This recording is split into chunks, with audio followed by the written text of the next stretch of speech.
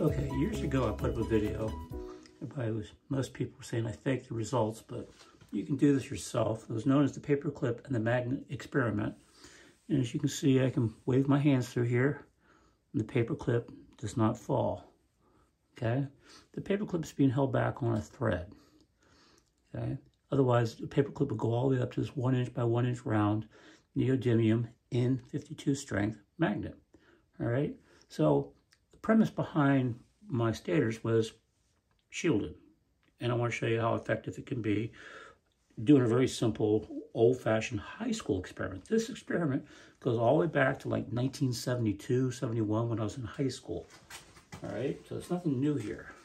But I just simply applied this a little differently to create uh, my stator. So watch this. Here's the shielding that I use. And I'm just going to interpose it between these two. Watch what happens with the paper clip. Get this just right. Okay, here we go. See? The magnetic field is shut down more than enough where this paper clip can no longer stay up. One more time. Stay up. There we go. Alrighty. You can just try this yourself. You'll see this is a very legitimate experiment. Okay, I'm going to bring it in here. Alrighty. So as you can see, if we had triple layer, which is what I do, I do three layers with a quarter inch gap in between each layer.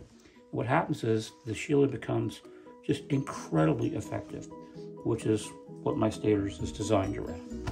Alrighty, that's it for the magnet and paperclip experiment.